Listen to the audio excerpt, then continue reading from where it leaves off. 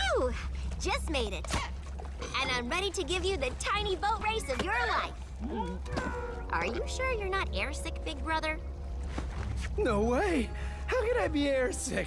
I'm in the water, so it totally cancels out. I don't think that's how it works, but I'm ready if you are. Technically, Princess Twilight Sparkle should officiate the Princess Paddleboat race. Well, I suppose I could race your brother. Oh, well, as long as Shining Armor gets to race, I'm happy.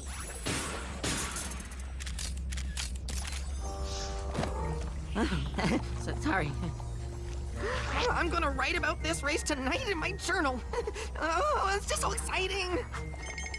On your mark, get set, Go!